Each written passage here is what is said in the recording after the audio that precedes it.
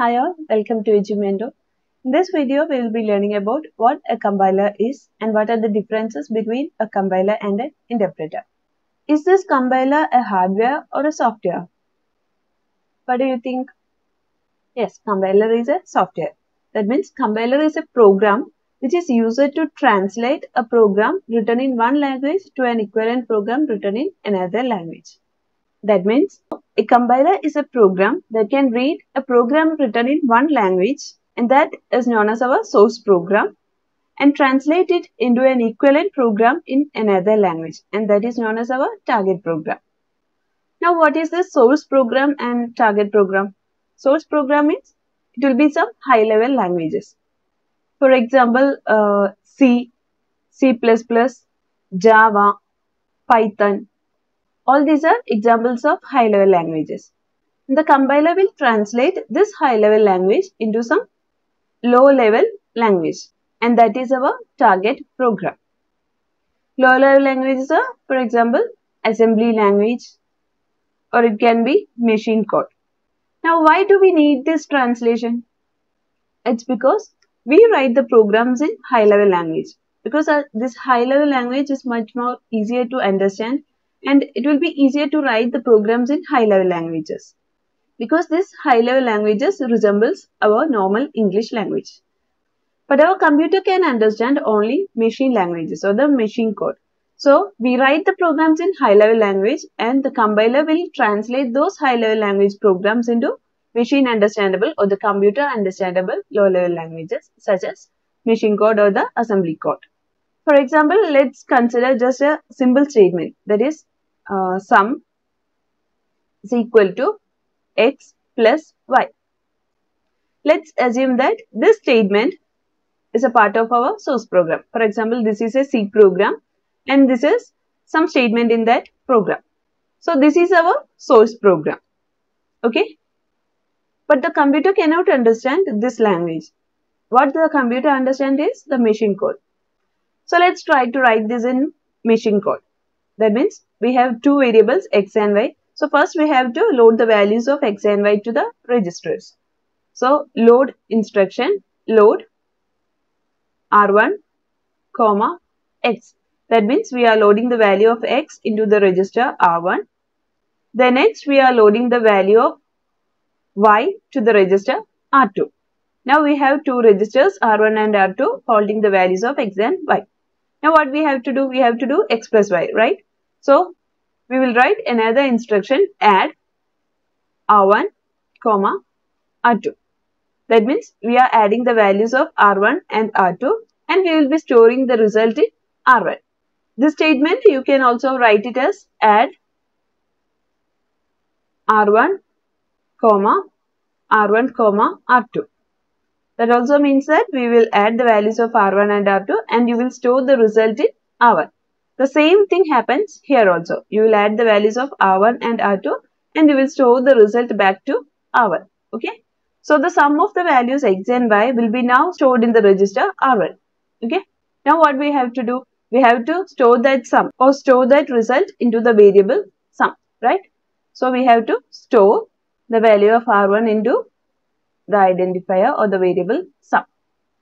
Okay. So this is the machine code or the target program. So from here you can see that in order to write this single statement sum is equal to x plus y in order to write that single statement in machine code you have to use these four instructions right. So from this example itself you will be able to understand that how difficult it is to write a program a complete program in machine code and that's why we use the high level languages to write our program. So we write the programs in high level language and with the help of a translator for example the compiler we will translate the high level language to low level language. So the machine can read it or the machine can understand it. Okay.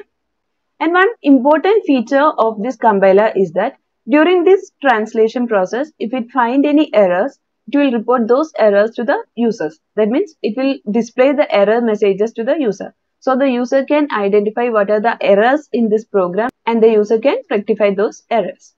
So this is the block diagram of a compiler. That means a source program is given to the source program is fed to the compiler and compiler will do the translations and if it finds any errors, that error messages will be displayed to the user. So what the user will do? User will correct all those errors. Once all the errors are corrected, the compiler will produce the target program. So that's the working of a compiler. So this source program, it will be some high level language and this target program will be a low level language. And if this target program is some executable file, then we can execute that target program. That is what shown in the below figure. That is, we will take this target program and we will execute or we will run this program. Once we run this program or once we execute this program, if the uh, program requires some input from the users, it will ask for the input from us. Then it will process this input and give us the final output. To be more clear, I hope you all have written some programs in, uh, in any of the language, for example, C, C++, Java, any of the languages, you all will be have written at least one program, right? So, uh, suppose we have a C program and I am using a GCC compiler to run that program, okay? You can use GCC or Turbo, uh, whichever compiler you are having, okay? So, I have a source program which is written in C language and I am having a GCC compiler? So, what I will do? I will compile this C program and we know that uh, while compiling this C program, if there are any error in the program, those error messages will be displayed on our screen, right?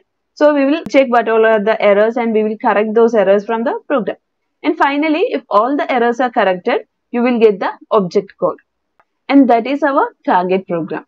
Once we get the object code, we will be able to run it. That is, we will use the command dot slash a dot out in order to run the program. Okay. So what happens is actually we are running this object code. The object code that we found just now will be executed here.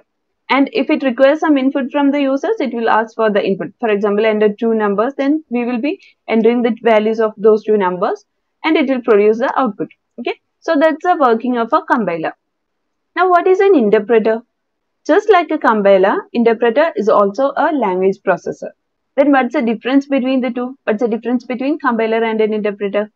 In case of an interpreter, the interpreter will take the source program as well as the input from the users simultaneously. If the program asks for the input, it will take the input from the user simultaneously and produces the output. Rather than producing the object code and then executing the object code, this interpreter will take the input as well as the source program together and it will produce the output. So in case of a compiler, it was a two-step process. First, it will translate it into the source program into a target program and then the target program is executed. Uh, the user will give the input and finally the outputs are produced. But here in case of interpreter, the source program as well as the inputs are taken together and the output is produced. So the first difference between the interpreter and the compiler is the compiler will take the whole program or the whole source program at once and it will produce the target and then we have to, to execute this target program in order to get the output, right? But in case of a compiler, it's a single step process. Now, what's the second difference between the two? Second difference is that the mapping of the input to the output will be faster in case of a compiler. That means the compiler will produce a target program or the object code and then this object code will be executed or we will run this object code. And during this time, we will give the inputs and the corresponding output will be obtained. So, the input to output mapping will be faster in this case. That means, for example, in case of a C program, suppose we give the values of x and y as input. Then in the next step, we are finding x plus 10. In the next step, we are finding x, y plus 20. And we are storing the values in m and n okay? Then finally we are finding the sum is equal to m plus n and we are printing the value of sum okay? So in case of a compiler as soon as we provide the input values of x and y we will get the value of sum. But in case of an interpreter it will be working statement by statement. So first the values of x and y will be taken from the users. Then it, it will interpret this statement then it will interpret this statement, then it will interpret this statement and finally the sum that is the output will be produced. So there will be some delay input to output mapping in case of the interpreter. Okay.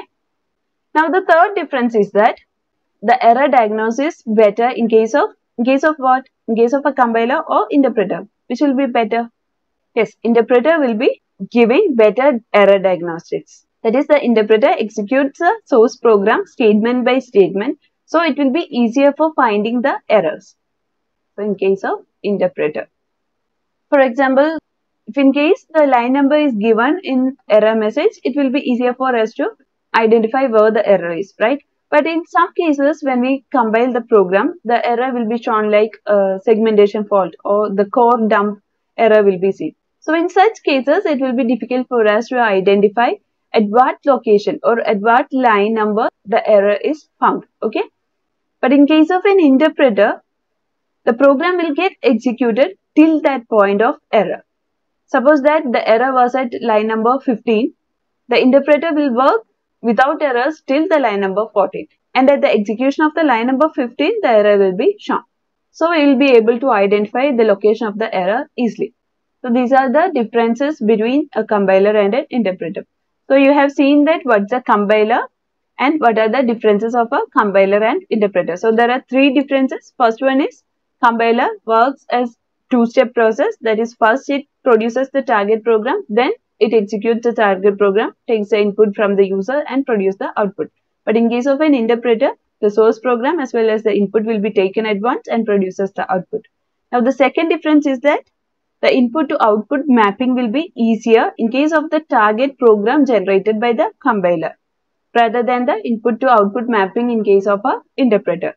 So compiler will be faster to produce the output. Okay.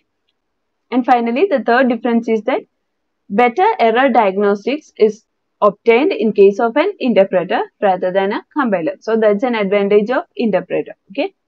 So that's all for now. The next video will be going through the next topic that is analysis of a source program. Till that, bye.